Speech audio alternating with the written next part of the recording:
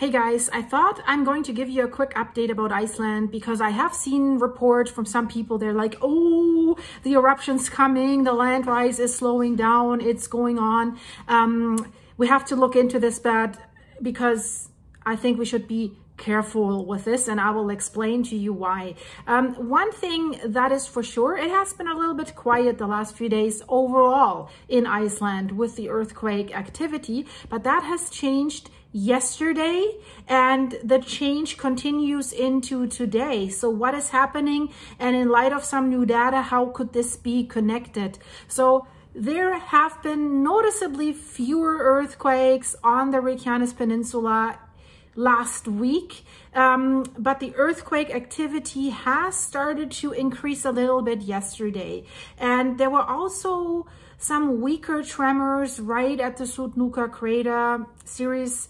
But the seismometers have recorded like around five earthquakes there yesterday. And in total on the whole Reykjanes Peninsula there were 57 earthquakes. So you wouldn't say that there is any huge earthquake swarm or anything going on.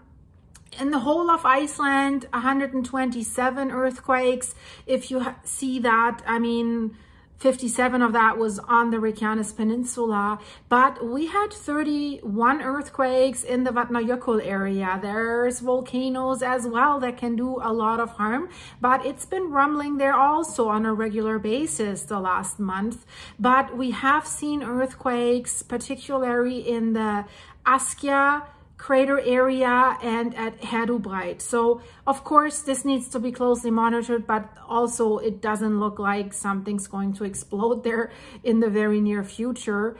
Um, also, the charts have shown that the land rise underneath the Svartsengi area where we have the geothermal power plant, the Blue Lagoon, and the magma chamber underneath that is causing all these eruptions and intrusions that have started about a year ago. So there it seems this magma chamber is filling up. It's still filling up but it's apparently rising a little bit more slowly. And is it? So we will have a look at the latest release from the Icelandic Meteorological Office because, and that's why many people are on alert, um, if there is an increase in earthquakes and the land rise is slowing down, that could be an indication that the magma chamber has reached the point of maximum elasticity. So it's, imagine you're blowing up an air balloon, right? A, a party balloon. So it, it's rising, rising, rising, rising, rising. But when it stops, that means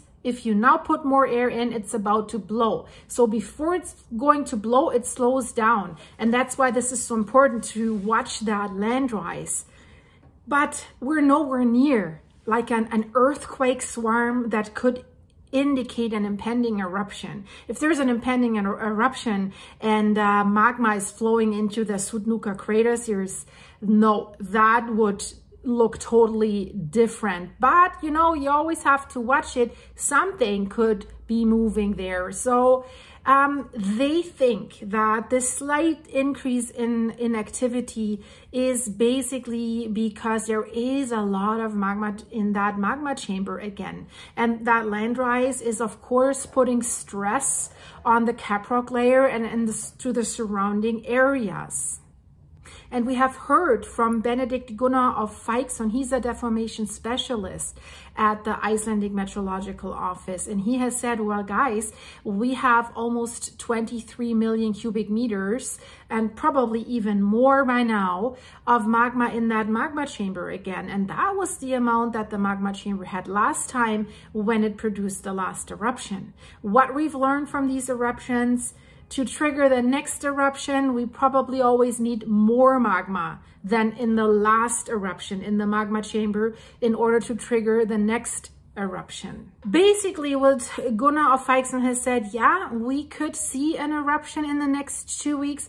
That would still be November, but he says the earthquake activity doesn't give us any indication and it's usually a precursor to something like this and it has only increased slightly so far. So nothing nothing really that says be on high alert.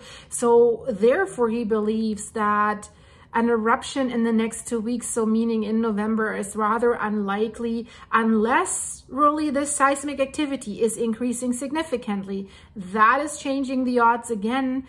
Um, because that would really be another trigger point and show us that the, the pressure in the magma chamber underground is really, really high now. But he thinks that we might see an eruption rather around Christmas, which is not really great, right? It's not really a great timing, but we will have to wait and see. But let's have a look at the new data. And that was the reason why I thought I'll, I'll make this video to explain that.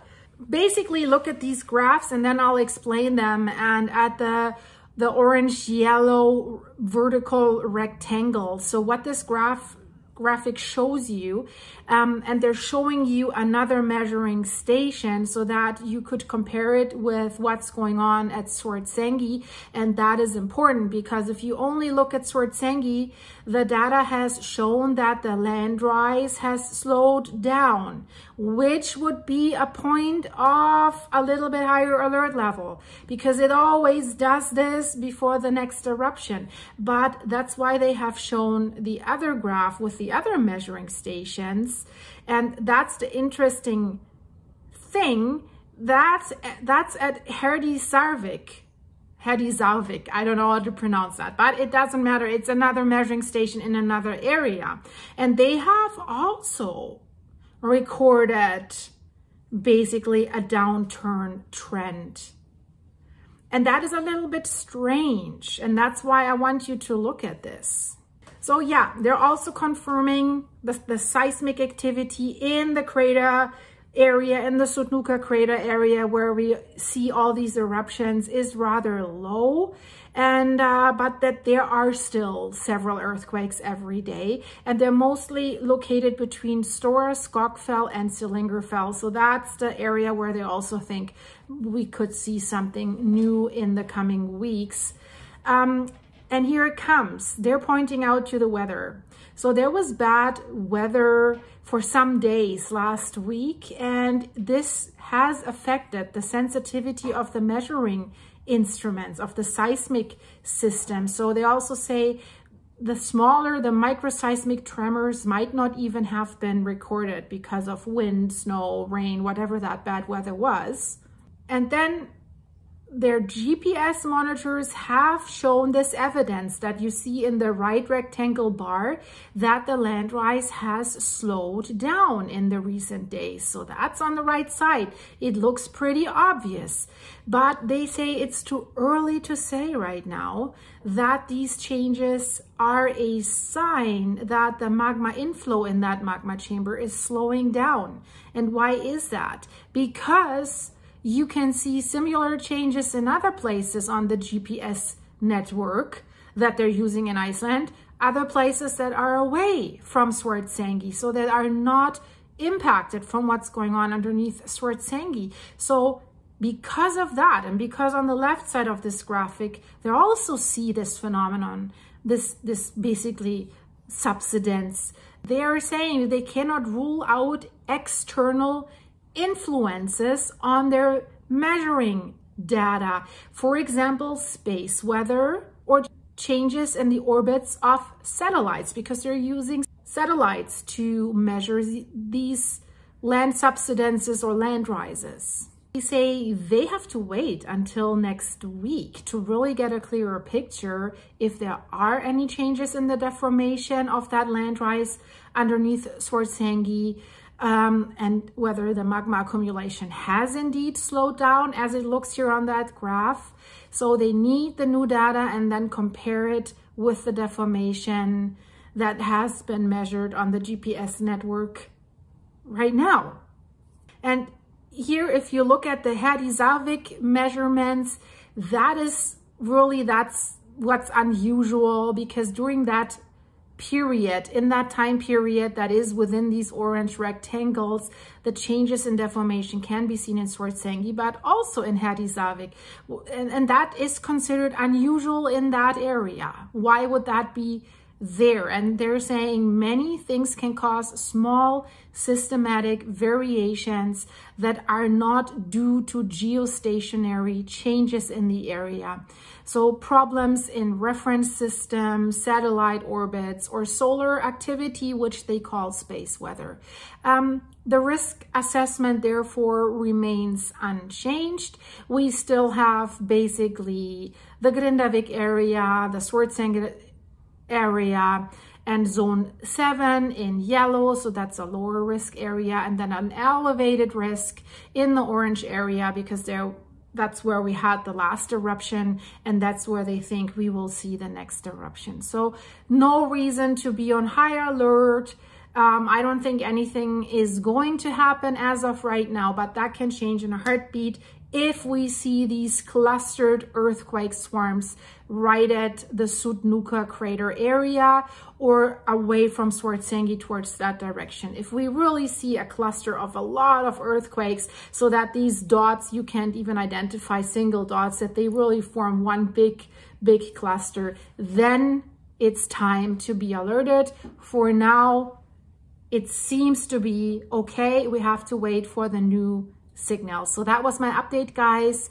Check out my other videos, interesting stuff. Thanks for your support. If you want to support the channel, check the links in the description, become a member of the channel, or go to my Buy Me a Coffee website. And also, of course, thanks for your supers that you're sending the channel here. So stay safe, be prepared. I hope to see you very soon. Bye-bye.